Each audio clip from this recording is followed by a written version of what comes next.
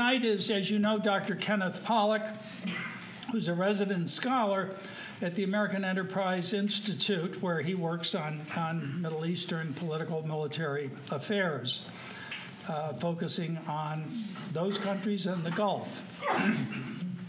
he served twice as the at the National Security Council, first as director for Near East and South Asian affairs, and then as director for Persian Gulf affairs. He began his career as a CIA analyst,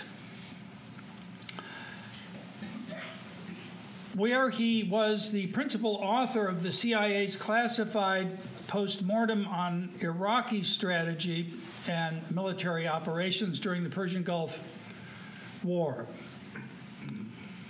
His new book focuses on why Arab armed forces have lost so many wars that they, by rights, should have won. Maybe for his next book, he can write why the United States military forces have, during the same time period, lost its military engagements. But you probably need a rest after this magisterial tone. Uh, for which you two are to be congratulated for uh, a work of the first magnitude and importance, uh, in which he examines the performance of 15 Arab armies and air forces in virtually every Middle Eastern war since 1948. now, Dr. Pollack uh, is extremely prolific for someone of his tender years, having produced, it depends on your perspective. and he's written nine other books. I just mentioned a couple of them Unthinkable, Iran, the Bomb, and American Strategy.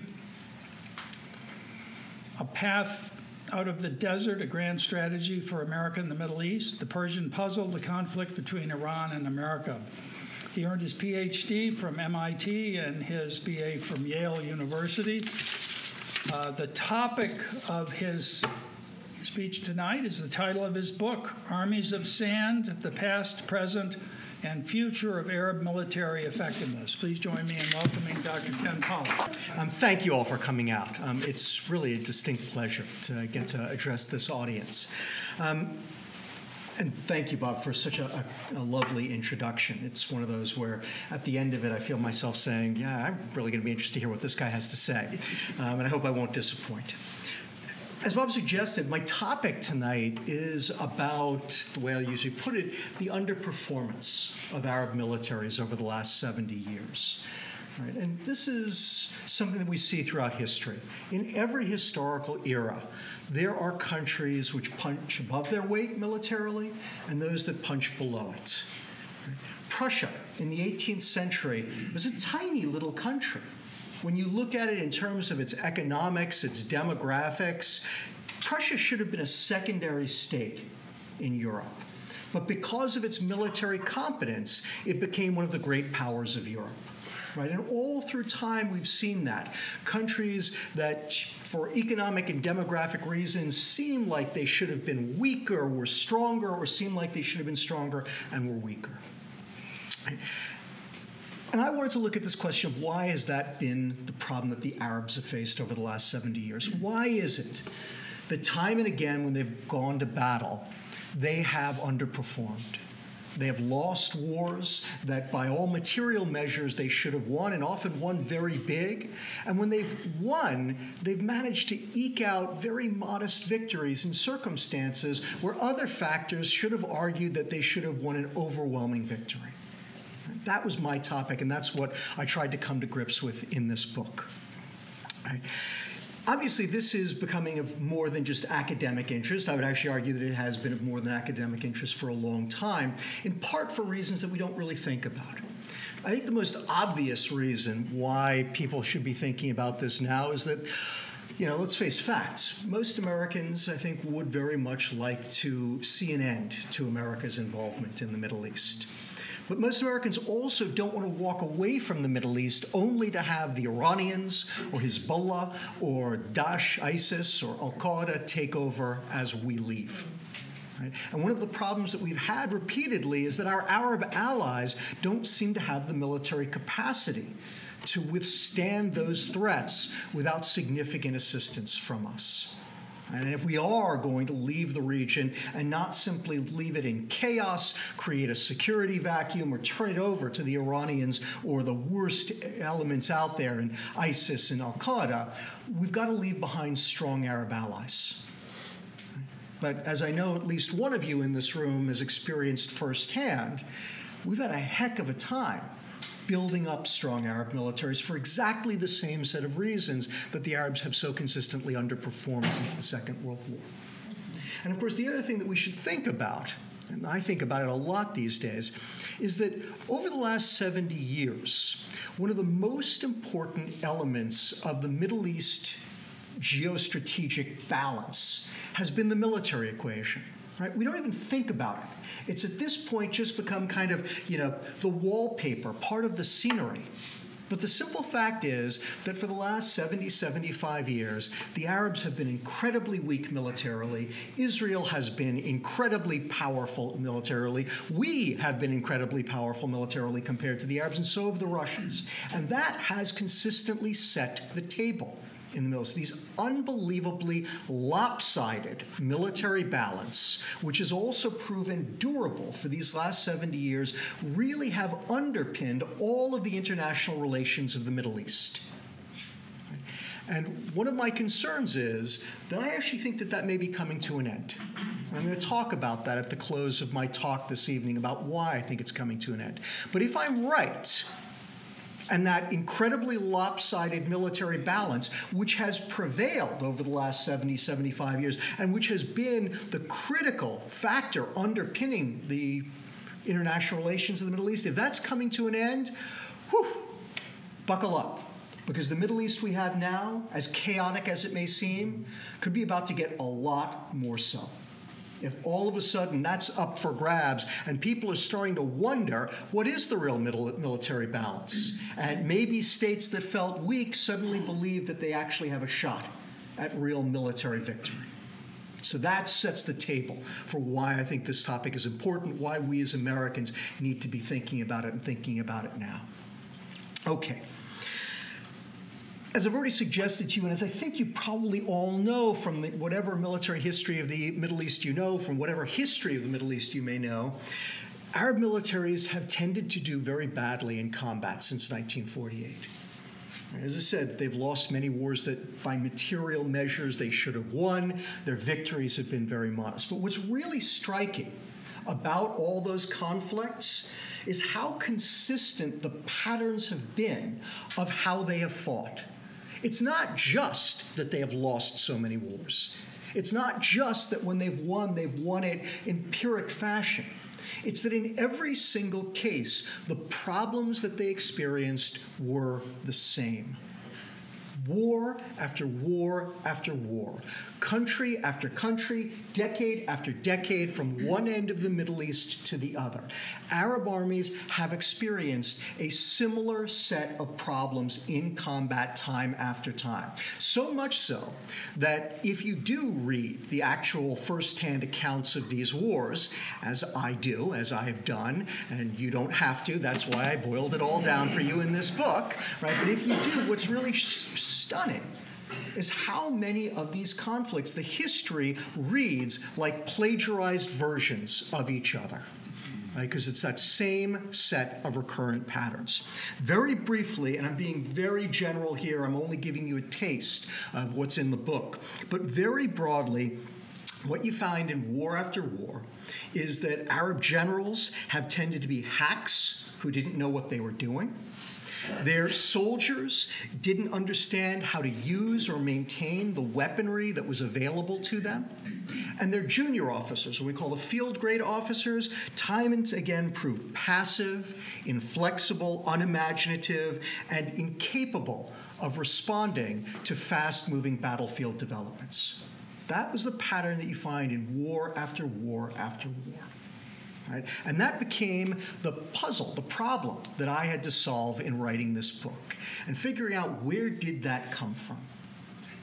Now, it's not a simple answer right? These are big, complex issues, right? When you're talking about armies in combat and in combat all over the place, and I looked at all different wars, as you heard Bob said, from 1948 right up until 2018. I've got, you know, I, I talk about 15 different cases in the book. I actually have closer to 60 cases altogether that I looked at. I just didn't present all 60 of them because that would, you know, make it a little bit unreadable. Um, and against all kinds of foes, right? You know, we always think about the wars against Israel, but it's the same patterns against the United States, against Britain, against France, against Tanzania, against Chad, against the Iranians, against each other, right? And time after time after time, the same set of problems, right? And these kind of problems, again, they don't come from any single source. It's a big, complex set of problems, and as a result, they come from a complex set of origins, right?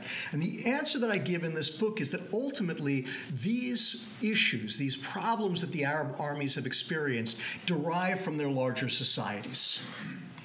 Raymond Aron once famously said that all militaries are the products of their societies, right? No truer words have ever been spoken.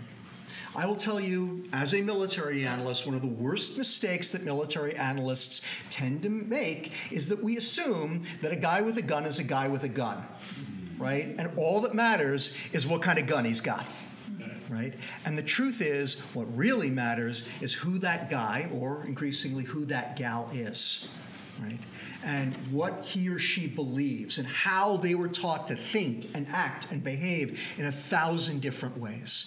The human factor is what really drives military balances and what really determines success or failure on the battlefield. And so when you look at this complex set of problems in the Arabs, what you find, what I present in my book, is that it derives ultimately from the politics, the economics, and the culture of Arab society. Now, again, these are huge topics. All I can give you is a taste of what's in the book. And please understand, I'm going to give you very glib, simplistic versions, right? These are big, complex topics. And in particular, you know, culture is a very delicate one. As I say in the book, working with culture is like working with nitroglycerin. Right? It's often necessary to do so, but if you're going to do it, you need to exercise extraordinary care. Because if you don't, you can do a tremendous amount of damage. And so I take a lot of time in the book to talk about what culture is and what it isn't, how to think about it, how it does and doesn't have an effect, how it has been abused in the past, and how to think about it in the context of military operations. And again, I can't take you through all of that, right? So please bear with me. I'm going to give you very simplistic versions of this and glad in the Q&A, and I'm going to try to leave quite a bit of time for the Q&A. We can talk more about it if you'd like to do so, but understand that these are a lot more complicated, and all I'm giving you are the thumbnail sketches of it. Okay. So, how to think about the problems that they've experienced? Well, I started by talking about the problems that their generals have had. The problems that their generals have had are typically overwhelming a product of Arab politics. Okay. The Arab world, even to this day, is dominated by autocracies. Right? And over the last 70 years, that has basically been the rule far more than it has been the exception. Right? And what we find time after time after time is that these autocrats are very frightened of being overthrown by their militaries. Often with good reason, because often they are themselves generals who overthrew their predecessor right? And what they're trying to prevent is the next guy from doing the same thing to them that they did from their, to their predecessor. And so, as a result, there is a built in tendency across all of these autocracies to regard their militaries with a great deal of suspicion. Right? And they do a whole bunch of different things. They oftentimes preference loyalty over competence when they choose their generals. Right? And in some really extreme cases, Saddam Hussein being the, the best, perhaps the only example, Saddam actually chose guys he knew to be morons. He knew to be incompetent for his top generals, specifically because he recognized that they would have tremendous difficulty mounting a competent coup against him. Right? And that was a brief period of time, and eventually he does realize that that's a mistake, and he has to go about appointing competent people. And the truth is, it's, you know, we need to bear this with a few grains of salt. In many cases, what you find is, look, in most cases, the dictators are looking for guys who are both loyal and competent, right? It's just that if they've got to choose between the two, they tend to go with the loyal over the competence, or they go with the loyal and hope the competence is there. And we've seen plenty of cases where dictators have chosen guys who were very loyal, who also turned out to be pretty competent. But because they do tend to preference competence over loyalty, or sorry, loyalty over competence, you've had problems in many, many cases. In addition, they tend to micromanage their military forces to make sure that they're not doing anything that the regime doesn't want them to do. And they create really bizarre, complex command and control situations that make it hard for their military forces to overthrow them, but also make it hard for those militaries to fight especially for the generals to do their jobs. Uh, my favorite example of this comes from 1973 during the October War, the Yom Kippur War, the Ramadan War, whatever you want to call it. I choose the neutral term of the October War. You know, before the October War, the Syrians massively expanded their army, and they probably had enough brigades to fill about 10 divisions. And they learned after the Six Day War that you got to have divisions. They didn't have divisions in the Six Day War because the leadership at the time didn't trust any of their generals with command of a division. Right? It was a division commander who overthrew the Iraqi monarchy. So no divisions, right? You know, that's too too much power in one man's hand. Well, they get beaten in 67 horribly, and one of the lessons they learn is, you know what, we got to have divisions.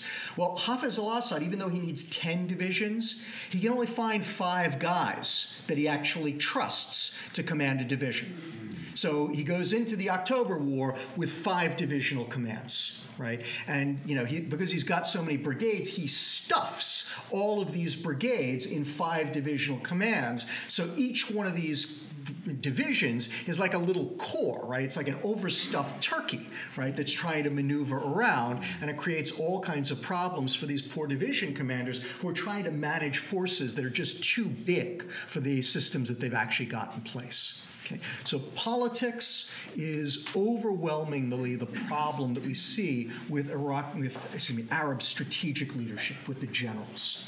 Okay. That's the top of the chain of command. I talked about the bottom of the chain of command too, right? I talked about how Arab soldiers, the kind of you know average guys manning the tanks, manning the machine guns, flying the planes, often have tremendous difficulty getting the most out of their weaponry and maintaining it all properly. Right? That turns out to overwhelmingly be a product of Arab economics. Really, and really of underdevelopment. The Arab world never really industrialized. Right? The truth is, they st- it still hasn't. They're more or less jumping over industrialization, right? They're jumping into the information age, but they never really went through that process of industrialization. And that's important because, quite frankly, 20th century and early 21st century warfare is industrial age warfare. My old mentor, Barry Posen, once famously remarked that the shift between the 19th century and the 20th century was that in the 19th century and before, you armed the men, whereas in the 20th century, you manned the arms. Industrial warfare was all about these complex machines of war. And think about it, right? When we think about armies and we ask the question of what army is stronger, what are the things we want to know? How many tanks have they got? How many artillery pieces? How many planes? How many armored personnel carriers? And what can they do, right? Is this tank better than that tank? Is this plane better than that plane? Right? We focus on the machines. Right? And so one of the, the critical elements of military effectiveness during the industrial age was how well do your people man the arms? And one of the problems in the Arab world is because industrialization never really got there, you find that large numbers of Arab personnel come to their militaries without the same levels of familiarity with machinery that you find in Western armies, and then eventually in East Asian armies, and eventually in South American armies as well. Right? And again, in my book, I've got all kinds of statistics showing the numbers of kind of cars per person and phones per person and TVs per person, showing how the Arab world never had the same numbers that you had in the West and other parts of the developed world. Right? And for those of you who fought in the Arab world, trained out there, right, you know, a lot of these guys, they come to the military without the same familiarity that the average American or European or Japanese comes to the military with in terms of understanding just the basics of how machines work. Right, and industrial age machines, not smartphones, right, but how a car engine works, right? Because that's what you need to know. You want to fly an aircraft, you got to understand how a plane flies and what it does, right? You want to take care of a car, you need to understand the very basics of what is required to maintain that car.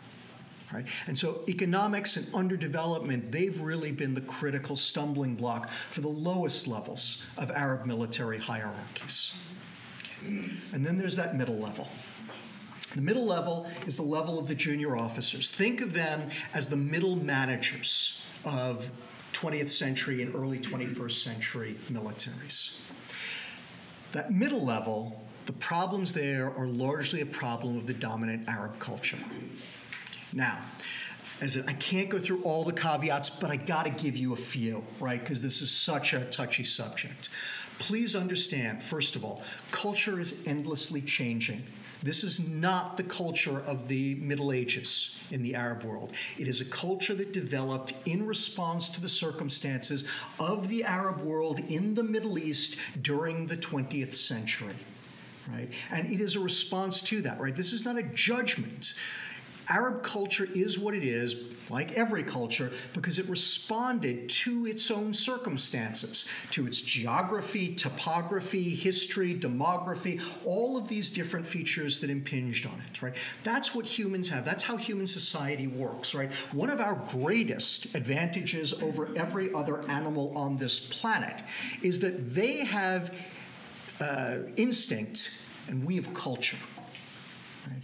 Culture allows you to adapt to your circumstances far better than instinct. It's why we've taken over the planet, right? And why animals have to stay in certain geographic areas and can't. We can live anywhere because wherever we are, our culture adapts. Right? And people learn to do things in ways that allow them to survive in whatever circumstances they find themselves in. And again, that's also determined by their history. Right? So whether or not you were butting up against the Mongols or the Romans, right, or dominated by the Ottomans, right, these are critical elements that will shape a people's culture because culture is all about how does the species survive? How does the society survive in its circumstances? Right? So cultures develop in response to their environment, right? And they're very effective at doing that. The problem for the Arab world is that, of course, while cultures develop in an absolute sense in response to their environment, warfare is a competitive activity. And warfare at different points in time has demanded different kinds of skills. And what you find all throughout history, going to that question that I posed to all of you at the very beginning of my talk about why it is that some countries have underperformed and some overperformed at different times, a big element of that is about whose culture equipped them with the right skills, given how wars were fought at that moment in time. Right? I love to use the example of the Mongols, I use them in the book. It's not like the Mongols set about building huge numbers of superbly trained horse archers so they could conquer the world. Right? What happened was Mongol culture developed large numbers of superbly skilled horse archers because that's what you needed to survive on the Eurasian steppe. But once you had all of those magnificent horse archers, you could conquer all of Eurasia right? Because that was the ideal set of skills given how wars were fought at that time, given the military technology, organization, and etc. Okay. Problem for the Arabs has been the opposite. Right? The way that their society evolved in the early, late 19th, early 20th centuries, again, it equipped them, it allowed them to survive in their circumstances, but did not equip them with the right skill set for industrial age warfare. Okay. Again, this is a big, complicated topic. I'm going to boil it down. At some level, it's ultimately about hierarchies and organizations, right? Every society has hierarchies and organizations. It's one of the hallmarks of civilization. Right? But everybody's hierarchies function differently. Right? Some of you, I'm sure, have been to Japan or Germany, right, or India, right, and you've encountered organizations, bureaucracies, hierarchies there, right. And my guess is, certainly this is how I felt, they felt very different from how our organizations work. Right? I can remember standing in the Japanese foreign ministry when I was about 26, 27, and just being absolutely baffled at how their foreign ministry worked, right? It did not feel at all like how the US government felt, not in any way, shape, or form. But you know what? It worked for them right? It was their system, it worked. Their culture told everyone how to behave in the hierarchy, right? How do you behave when you're at the top of a hierarchy? How do you behave at the bottom? How do you behave toward your superiors? How do you behave to, toward your subordinates? How do you behave toward your peers? That's what cultures do, right? But everybody's culture is different. And the problem that the Arabs have had over the last 70 years is that industrial age warfare demands a bottom up hierarchical organization. That's what the Germans figured out first. You want to know why they did so well in World Wars I and II? Because they figured this out. For those of you who know the German term Auftragstaktik, right, mission-oriented tactics or mission-oriented orders, excuse me, this is the idea behind it. It's the guys at the top, they give general orders to their troops. I want to move in this direction. I want to envelop these forces, and they leave it to their subordinates, to the middle managers, the junior officers, to figure out how to take that hill, how to defeat this enemy force, and then when they're waging the battle to determine at the spur of the moment how they're going to fight. Right, so it's a tremendously bottom up process. You want to win in industrial age warfare, you have got to be great from the bottom up. Your junior officers, your NCOs, your middle managers, they have to be terrific. They have to be flexible. They have to be able to take responsibility and make decisions on the spur of the moment. And their guys higher up have to recognize it and be able to help them, support them, react to it.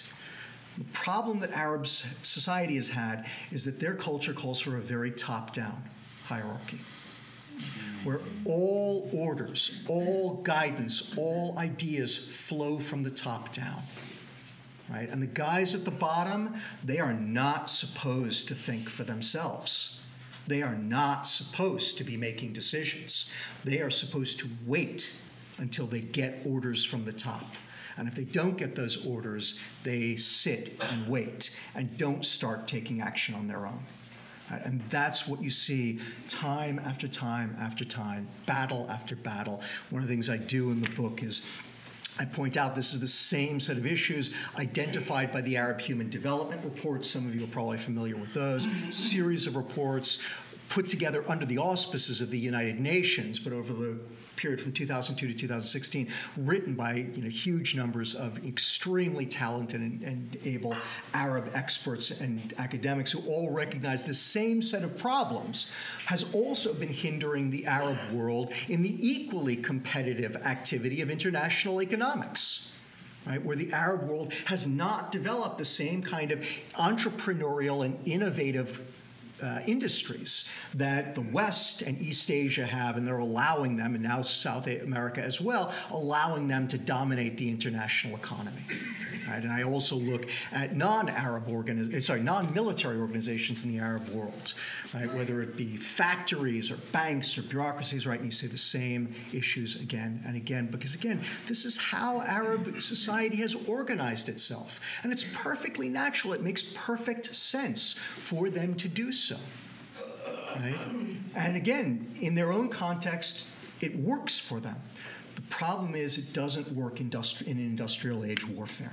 Right? It's not the most efficient way to do so, and especially when they come up against another military that is capable of functioning the way that industrial age warfare requires, they, w- they lose, and they lose often very badly.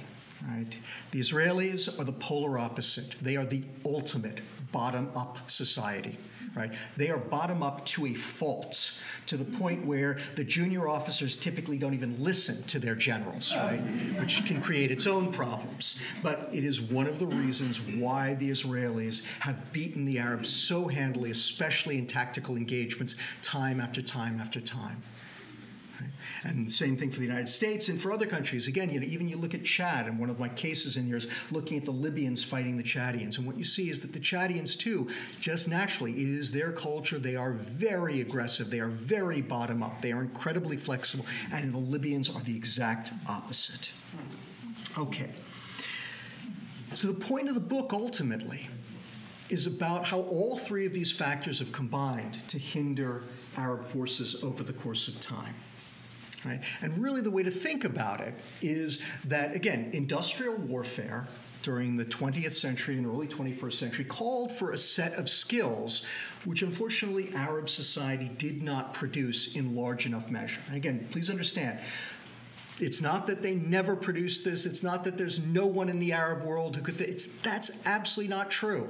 There were plenty of bright, smart, innovative, aggressive, just not enough of them right? And oftentimes not in the right positions to take advantage of it, right? Because those people often were not promoted, right? We would recognize them, again, for our own cultural reasons and say, right, this is the guy you want in charge, or this is the gal you want in charge. Whereas too often in the Arab world, was, no, no, no, that's not the person we want in charge. We want this guy who does things the traditional way, the right way. But the world is changing, right? Dramatically so. First of all, warfare is changing. I keep talking about industrial age warfare, and I'm doing it for a very particular reason. I think we're at the end of the industrial age. Right? And we are moving into the information age. And frankly, none of us knows what information age warfare is going to look like. Right? It's going to be very different. We are just at the dawn of the information age. And worth noting, you know, we have lots of theories, and our military is thinking long and hard about this. And you know, trust me, our military believes they've got this. And you know what? It's going to be great because we're going to be even better in the information age than we were in the industrial age. Maybe. Hope so. Um, but you know, History has a bad habit of playing tricks on people who believe that, right? I mean, just think about if you were looking back at, say, the early 20th century and you were asking the question of what country was most likely to be the dominant power, military power during the industrial age, you'd say the Brits right? They had the most industrialized economy. They had industrialized the longest, right? They had been the pioneers in industrialization. And think about what they did in terms of warfare, right? The Brits invented the tank. They invented the strategic bomber. They invented the aircraft carrier, right? You can go through one after another. All of the, you know, not all, but many, a great many of the key pieces of military hardware that dominate the 20th century were invented by the Brits. But the Brits are not the winners of the competition for the great military powers of the industrial age. Right? They are surpassed you know, qualitatively by the Israelis and the Germans, quantitatively and to a certain extent qualitatively by us and the Russians as well. Right? They're not the big winners. And so we shouldn't assume that just because we are the power that is basically propelling the information revolution, that we're necessarily going to be the winners. And the same thing for the Arabs just because they're not the ones who are necessarily propelling it, not at least not at this moment, don't assume that they're not going to benefit from it.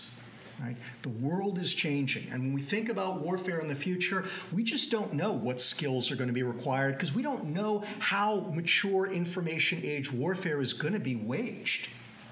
Right? You know, in the Middle East, the Israelis have benefited from having the best pilots and the best planes we are fast approaching the point where what may matter in aerial combat is simply who has the best missile. And it won't matter what plane you're flying or how good your pilot is. If your radar can find the other plane and get a lock and you can push a button, a long range air to air missile, we're getting to the point, can kill just about anything that it can see. Right? And these missiles are getting so good that that's what matters, right? They do all the maneuvering, right? You don't have to be a hotshot pilot who knows how to dogfight if you've got a really good standoff air to air missile. Right? And that's just a taste of, of, what I'm talking about, of how the, the information age is fundamentally changing how wars are fought. We don't know how they're going to be fought, and so we don't know what skills are going to be required in the future. But it's also worth noting that the Arab world is also changing. And I think it's changing in some dramatic ways. Right? The most obvious example of that is the politics. I think everybody in this room, almost everybody in this room, remembers 2011 and the Arab Spring, when we had revolutions in five Arab countries and massive unrest in just about every other one. Right? That is a very good sign of how politics are changing. Right? Arabs are no longer willing as they had been in the past, to simply live under these sclerotic autocracies. They are looking for something different. They are thinking about different things, right? And in part, that is being driven, and in part, that is driving changes in the economics, right? Technology is penetrating the Arab world in ways that it hadn't beforehand. As I said, you know, they, if you look at my charts in the book, you'll see that you know the numbers of again cars per person and phones per person, very low. Then you look at smartphones for today, whoosh, they are right there up they are right up there with us. Heck, in many cases they've surpassed us. Right? They've got like 3 iPhones for every one that we have. Right? And you know, we're moving into an era where frankly Nobody needs to know how to take an iPhone apart. Does, can anyone in this room take their iPhone apart? Right? Could you repair it? We throw them away. Right? That is dramatically changing how we approach technology. And technology in the information age may be completely different from the way technology was in the industrial age. The industrial age, the people had to conform to the tolerances of the machines. Increasingly, in the information age, it is the technology that is conforming to the tolerances of the people. That's why we have smartphones, right? Because they are learning how we do things, right? And making it easier and easier for us to use them to do what we want to do. Right? And finally, Arab culture is changing and changing in dramatic ways. As I said to you when I started talking about it, Culture is not timeless. Culture is endlessly changing and adapting as the circumstances of a people change. And the Arab world of today is very different from the Arab world of 30 years ago and of 60 years ago. Right? You see this in people's response to things like education. And understand, culture is all about education. Culture determines how you educate people, and the education then inculcates the culture right? We don't even think about it. It just comes right through, right? And people are demanding more critical thinking and different kinds of curricula, right? And more flexible and innovative ways of learning in the Arab world. Many people are sending their kids abroad to try to get it. And some of these countries are starting to try to import teachers to try to change the teaching methods, right? And you see this in surveys about child rearing in the Arab world, where younger people don't want to raise their children the way that they were raised by their parents. So the culture is changing too.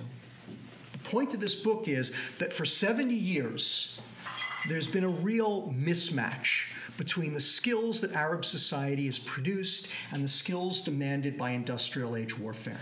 And that's the problem that the Arab world has been having. But the future, we don't know. We're going to have a different Arab society and different warfare requiring different skills, and that different Arab society is going to produce different skills. We don't know how they're going to match up in the future. They could wind up as the Prussians of the 21st century or they could just remain armies of sand. Thank you all very much.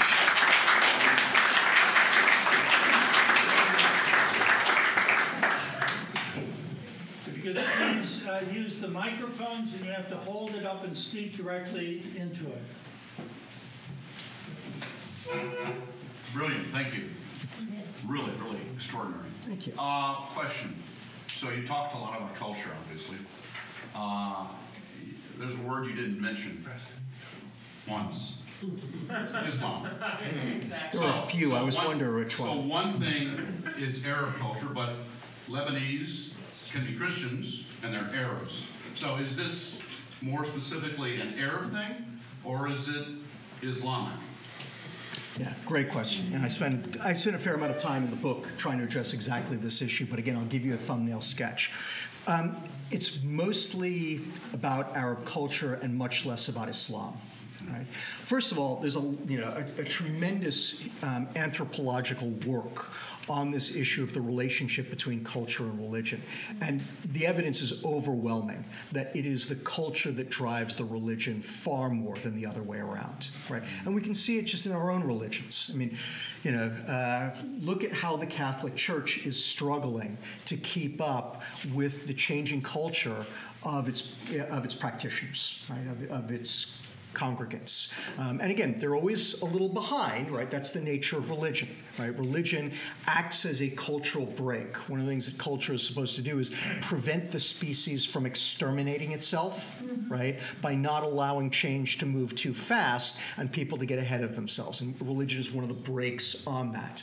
But every religion is constantly being pulled by the culture, and the culture wins far more than it loses. So it's not that Islam is totally irrelevant to this, but you have to think of Islam, and again, it's the Islam of the Arab world as something that is ultimately shaped by the Arab world. Right, there's a wonderful book for those who are interested. Clifford Geertz, arguably the most important cultural anthropologist of the 20th century, wrote a very famous book called Islam Observed. And in it, he looked at uh, the Islam practiced in Morocco, so the western edge of the Arab of the Islamic world, and Islam as it's practiced in Indonesia. And what he demonstrated is these two religions have almost nothing in common, right? They are fundamentally different. They both rely on the Quran, but the interpretations are utterly different. And in fact, in both cases, they are much more like the pre existing culture and the culture as it has evolved than they are like each other, or for that matter, like the, the religion as it is practiced in Saudi Arabia, right? The heart, the, the origin place of Islam. So it's not that Islam is completely irrelevant. It's just that this is much more about culture than it is about Islam. And again, in part, that's because the culture tends to drive the religion far more than the religion drives the culture. But fabulous question. Thank you for asking.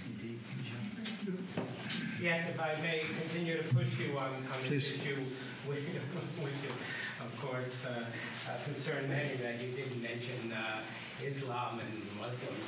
Uh, what about the Iraq, the Iranian war? Uh, uh, that went on for years, massive loss of life, especially in Iran where they had human waves. Uh, Iraq should have probably been defeated, but it wasn't. Uh, and you could, what about Pakistan and India, where you also have an Islamic country? Uh, one could argue that Islam is a retrograde religion, uh, culturally backward. Uh, the, one of the speakers who was here some months ago, Robert Spencer, uh, an expert on Islam, pointed out that the country of Greece, which is, if someone correct me, I don't know, eight or 10 million people, translates more books from foreign languages than all the 22 Arab countries combined. And if you take probably other Islamic countries, it's not much better. Uh, so I, one could, uh, but I'm interested if you included Chad, of course, is a Muslim country as well. So you could point, you could say, well, I looked at Chad and Libya, and the Chadians, even though they were Muslims, did very well against the Libyans. But what about Iraq and Iran? Also, by the way, you said this was a recent development in Turkey. Oh, just one thing. Also about the Ottomans conquered the Arab countries, and they were uh, controlled it for four or five hundred years. Great. Okay, so first of all, I mean, in some ways, you've, you've already made some of my points for me, right? Um, the Ottomans were eh, much more capable militarily, right? Islam didn't stop them in any way, shape, or form. We should also, again, I want to be careful here because Islam is very different today from what it was in the seventh century, right? The religion evolves too, right? And let's remember that the Arab armies of the seventh and eighth century were the terrors of Eurasia and, and Africa, right? And they conquer, and you know, the largest empire on the planet at that point in time. Um, Iran, Iraq, great example. Uh, you know, I've written as much about Iran as I have written about Iraq and about the Arab world. Iran-Iraq war is one of my cases, both in this book and in other things I've written. And what's really striking, the Iranians are a lot better than the Iraqis right? And they're not great, they're not fantastic, but their problems are often different from what you see with the Iraqis, right? The Iraqis conform to this model absolutely perfectly. The Iranians tend to show a lot more creativity, right? They don't have the same. There's a, there's more imagination, more aggressiveness among their junior officers, right? You don't see the same set of problems. Now, in some cases you do, right? They've got the same problems of underdevelopment that the Arabs do right? They're not great at using the weaponry exactly way, the way that the Arabs are. They've got some issues with their general, again, because of the politicization. That's similar. But at that middle level, which is the most problematic one for the Arabs, the Iranians are unquestionably better. And that's why they drive the Iraqis out of Iran in 1981 and 82 and are able to start battering the doors down on the Iraqis, despite the fact that they have been cut off from the entire world. Right? They're using garbagey Chinese equipment, whereas the Iraqis have basically got first call on the best equipment from most of the world. As you pointed out, I look at a number of other cases, some Muslims, some not, but you know, let's also look India, right? India is the sec- has the second largest Muslim population in the world, right? Those people don't seem to have any particular problem. There are plenty of Muslims who serve in the Indian army. The Indians never complain about it. By the way, they also do quite well with democracy. Indonesia, Malaysia, right? You know, even Pakistan. Pakistan is not the Arab world, right? And you know, when you and I don't do it in this book, but I've looked long and hard at the Indo-Pak wars. The Paks don't have the same set of issues, right? In point of fact, Pakistani junior officers are far better than Arab officers during the same period of time.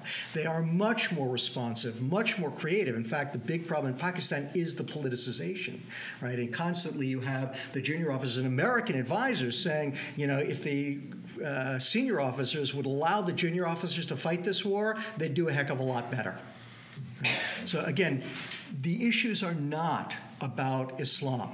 Right? And I would also say to you that, um, I, you know, I know that there are lots of people who have all kinds of ideas about, about Islam. Islam is one of the great religions of the world right? And the Quran is very much like the New Testament and the Old Testament. There is so much in there, and it's really about how you interpret it. And people interpret it incredibly differently. Right? I mean, I don't go into it in too much detail in this book because I haven't looked at Persian culture, even Shia culture, to the extent, extent that I've looked at Arab and particular Sunni culture in the Arab world.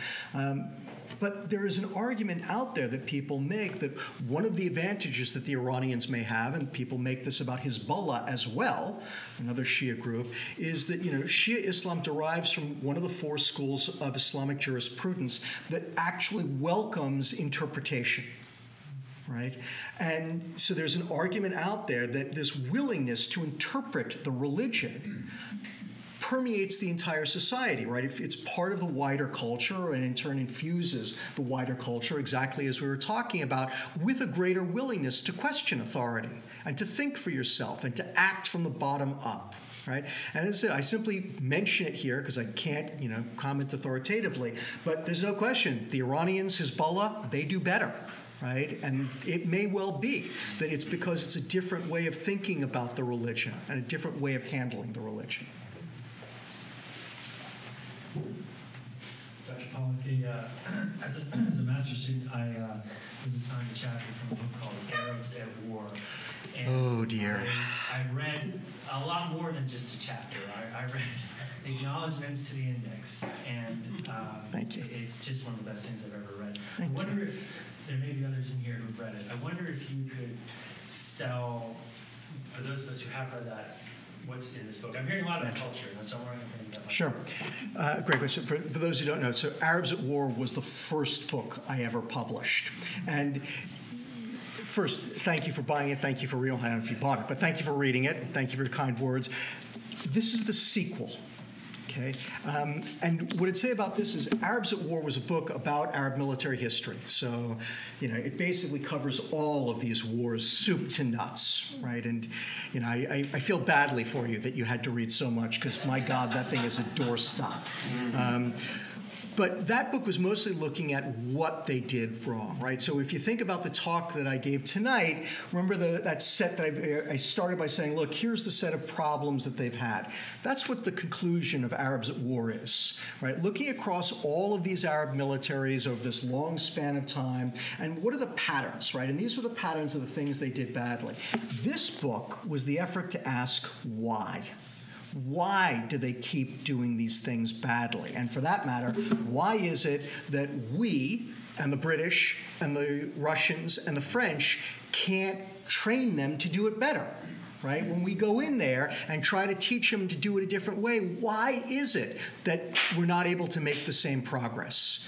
Right? And I've got all kinds of great stuff in here with the Russians pulling their hair out about the, their Arab charges exactly the way that our guys do when they are over there, right? And so again, this was an effort to ask that question. And the best thing I can say to you is that many of the case, not all, but many of the case studies, maybe two thirds of the case studies, are straight out of Arabs at War. You can just skim over them and yep, got that, remember that, okay, good, and then go on to the stuff that really matters. Um, the other thing that's in there that I didn't have in Arabs at War, and it was very important for this book, was I compared the Arab armies to other armies, non-Arab armies, that had similar sets of problems. So in some ways, you know, in response, excuse me, to the question that you asked me, sir, you know, when I'm looking at the question of, you know, I, one of the questions I ask is, is it the Russians, right? Is the problem the, the Soviet tutelage, right? So I not only look at the Arab armies and series of them, I also ask the question, well, how did the Cubans do, right? They also use the Russian system. How did the North Koreans do? They also use Soviet practices. When I'm looking at politicization, I compare them to the South Vietnamese and Argentinian militaries, right? Two of the most heavily politicized militaries of the 20th century, right? And what do they have in common? What do they do the same, and what do they do differently? Right. And I also compare them to Chad and China, two desperately poor countries, right, to look at this question of underdevelopment. So, you know, as a, this is the sequel. And there is a bit that you'll see in there, and again, you can skim over those parts, make it easier. Um, but it's very much trying to get at this question of why right?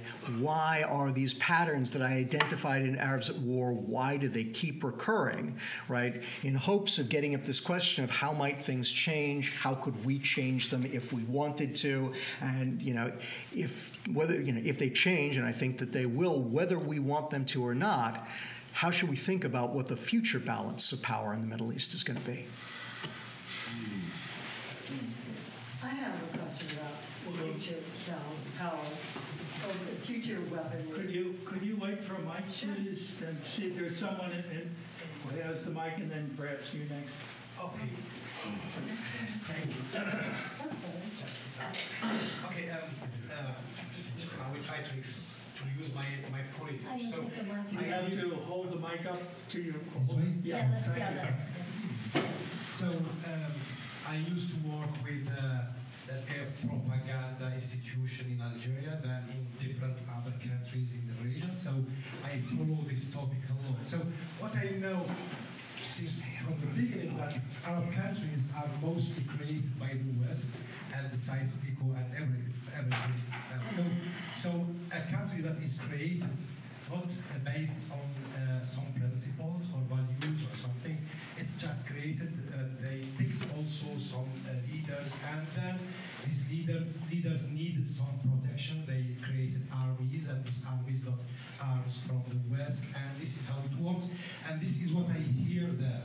So for them, in, in the other side, in the Arab world, so uh, armies and their governments are all uh, kind of uh, tools to protect some interests. And what I always say is, I, I see it as, as a, the title should be uh, Governments of Sand or Cartoon or something like that. Yeah. Regimes of sand. Yeah, because it's, uh, the, the army is the image of the government and everything. So this is my idea. I don't know if I'm right. It's a great question. Thank you for that. There's so much in there. So let me see if I can give you some concise answers to a great set of questions. Um, so first, you're not wrong. I would say actually what, what you're saying is all true. It's just there's more to it than just that. Right? So first, you're right that many of these countries were created by the West, but in many cases, they knitted together themselves. Right? It's very fashionable right now to say, oh, Iraq, artificial country. Syria, artificial country. It's true, every country is artificial, right? Um, and ultimately, we should remember, you know, if I were giving this talk 10 years ago, 20 years ago, we would all be talking about the ferocious nationalism of the Syrians and the Iraqis, right? They were world renowned for their nationalism. Right? And we've seen this time and again. People have multiple identities, these things can cohere. Right? Second point, you are absolutely right that these regimes all began with what I call palace guard militaries. And again, it's an important element. I didn't mention it tonight because it's something that has kind of ebbed and flowed, but it's another element of this issue of the political relations with the militaries, right? When they started out, as you point out, every one of these militaries was nothing but a palace guard, right? It was just there to keep the regime in power and it was designed mostly to protect the regime against internal threats, right? And those internal threats could be a coup, it could be an assassin, it could be a tribe that didn't like them, right, or whatever it may be. But what you also see is that over time, many of the Arab states, not all, but many of the Arab states actually start trying to use their militaries for foreign policy goals, right? They start going to war with Israel, with each other, with you know, kind of countries like Chad and, uh, and Tanzania and Iran and the United States, right? And over the course of time, many of them try to field really competent militaries, right? And those, of course, are the ones that I tend to focus on, right? Because you're right, um, you know.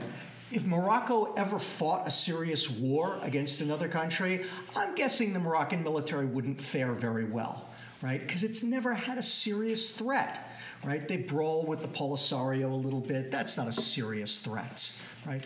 But the Egyptians, right after the after 1952 and the free officers overthrew the king in part because they believed he let them down in the war with Israel the Egyptians tried mightily to build a very serious military right and in 1973 they pulled out all the stops. They did everything they could to field the best military they could.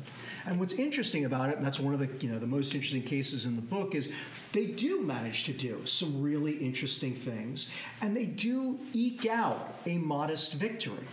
But by the same token, that's what makes it so interesting is they pull out all the stops. They do everything that they can. They have enormous advantages over the Israelis, and all they can do is eke out a modest victory for about four days before the Israelis turn things around on them. And again, case after case, the Iraqis during the Iran-Iraq War, right? The Jordanians in 1948, the Syrians in 73 and again in 82, right? These are these are moments when Arab militaries really did try to make that effort. Now, the last thing I'll say is that what you said is also true, and what's more, one of the interesting things is when you look at the politicization, and I trace it a little bit in the book, exactly as you described, it starts out, they're all palace guard militaries right? Just there for internal threats. Mm-hmm. Then they start overthrowing the governments in part because they start losing these wars and they blame the governments for losing the wars. So they start overthrowing the governments, and you get what I call Praetorian militaries or Praetorian governments, where the military is in charge of the government, right? But then they all get afraid that they're going to be overthrown. So they start becoming what I call commissarist militaries, right? Like the Stalinist system, where they're trying to control the military so it won't overthrow them. And they get so good at it right? And they all learn that our militaries really aren't very good at this whole war thing, that they wind up going back to being palace guard militaries, which is what most of them are today. You know, Great You know us better. yes, Well, I'm fascinated by the whole idea of technology and information, and particularly how it pertains to war and military, because we've come a long way uh, regarding quantum physics. And I was listening to a web webinar. It was actually being given by an Air Force a military officer who was a physicist. And he was sharing how, in fact, information now, it's like, wait, can go faster than the speed of light. So if you go through a computer, you can come up, you can have a tactic or a strategy, and you can see what the future is going to hold. And, and that's just one iota of how we can manipulate space and time. And I just, when you talked about, you know, we're getting bigger missiles, and that's going to be, you know, I think that may come, but I think that the real strength is in how we can manipulate the quantum field or technology and cybersecurity. And I was reading, because, one of the things that I do is I read about cybersecurity, and it was, it had said that the electoral votes are real, that that particular space is in real jeopardy for cyber invasion, but it, and that's why it was so easy for the Russians. In fact, they mentioned the website for how they did that was forusa.com. And so there is just the, the whole idea of technology is I find very fascinating, and you know it'd be great to um, to further that and not give our secrets away. I don't think we should betray the Iraqis with that. Doug, can you, uh, you? Yes, Jeff, and then John. Jeff. Yeah, howdy. Um, Currently in Yemen, we've got uh, a conflict, you know, raging today with Emiratis and the Saudis versus, if you will, proxies of the Iranians. What, this is something going on today. What is your current read? Are you looking at the tea leaves of the future in this particular conflict? And if so, what is it? Absolutely. And I'll say a little bit about cyber too, because I think it's an important topic. Um, so, but let me start with Yemen. Um, yeah, I first, I'm a military analyst. I work on the Middle East. Of course, I'm interested in Yemen. Um, and I think you're also right to be asking the question, well, you know, how does it relate to the topic of the book, which, you know, as far as I'm concerned, not just because it's my book, but I think you know, that's why I wrote the book. It's the $64,000 question for the whole Middle East moving forward. Actually, I should adjust for inflation. It's a $64 trillion question for the whole Middle East moving forward. Um, we see a few things. First, um, the Saudis are having the same set of problems that you know I, I identify for every single one of these wars. The exact same set of issues, right? So, you know, we're coming out of the industrial age, we're coming into the information age, but we're not there yet. And certainly the Saudis aren't. And again, they are having that same set of problems. To me, what's much more interesting is the Emirates and the Emirati military in, uh, in Yemen, because the Emirates are designing a new kind of force, right? Now, they're learning a lot from what we did in Iraq, right? In effect, that's what they're replicating in Iraq. So the Emirati effort, different from the Saudi effort in Yemen, is they brought uh, a small set of special forces units, very elite, heavily trained by us. Many of these people educated in the West, right? So that's part of what's going on here. So special forces to do certain operations, and then a very small force, 2,000, 3,000 people altogether, advisors, trainers, who are providing command and control and advisory assistance to Yemeni tribesmen, basically, and then providing fire support, right? The, the Emiratis have all the money in the world, so they can buy all the latest technology. And they've got magnificent systems. They've got Leclerc tanks and South African G5 artillery pieces, all the best in the world, and the Emiratis provide fire support. It's exactly what we did for the Iraqis in, uh, in the, the ISIS war, right? And to me, that's really interesting, right? Because they're not quite doing the information age warfare yet. This still is industrial age warfare, but they are taking the parts of their society that actually can do it right, plucking out the people who act. And this is more or less what we did with the counterterrorism service, the CTS, the Golden Division. Any of this rings a bell for you guys in Iraq, right? These are the guys who fought all of the battles in Iraq. We tried to do more or less the same thing um, in Iraq. The Emirates have done it to an even greater extent with this force in Yemen, right? And they're having real success, right? This is why they were able to retake Aden and why they were able to uh, take in Hodeidah Airport and marched up the coast, right, and are threatening to take the city. It's this very small Yemeni force that's acting as this big force multiplier for all these Yemeni tribes. So yeah, for me, Yemen is fascinating. And again, it's still, you know, two different countries that are, you know, one that hasn't figured out an answer for the industrial age, one that has, right? But again, it still points us to this question of what about the information age, right? And I, I love your question, I love your comment, because I agree with you. Cyber, to me, is a complete unknown, right? And I'll just give you You one little. need to have a lot of people. Oh, exactly, right? We could do it just with a few drones and Let's- But uh, you know, this is uh, you know what something we know about cyber, right? So in 2007, you're probably aware that the Israelis took out a Syrian nuclear reactor. Right. The North Koreans were building a nuclear reactor for the Syrians out in the desert. It was very clearly designed to give the Syrians a nuclear weapon. The Israelis took it out. The way they did it was, as best we understand, they inserted a virus into the, the Syrian air defense net. And they took down the entire Syrian air defense net through a cyber attack. Okay. If that is the future, right, if the future is whoever wins the cyber battle then disables the other side's kinetic systems, right, your air defenses, your tanks, your weapons, exactly, you win. And so what you need, you know, is Donald Trump's, you know, 400 400 pound guy living in a basement. You need like a thousand of those guys, right, who are hacking away at the other side. Now, again, I don't know if that's true. I don't know if that's what's going to happen, but it's simply another way of thinking about how the future of warfare could be radically different from the past. Mm-hmm. What I do know No, is no, that please, Israel- I'm sorry, we, we, we have to give someone a chance with a few minutes left. Doug? Um, Okay, thank you, sir. Uh, Doug Bird here.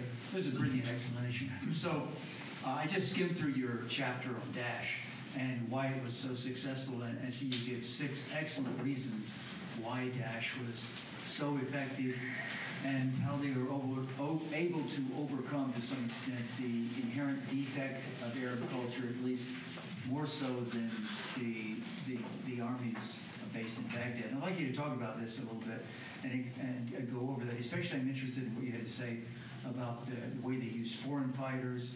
I'd like you to talk about uh, one thing that I noticed since I reported back is they were very creative about uh, using things like drones, you know, which not been used before. But I'd also like you to talk about to what extent do you see the Iraqi army having uh, developed? Because, uh, for example, in, in the Battle of Mosul, Doug, the- oh, okay, so just talk about that. Sure.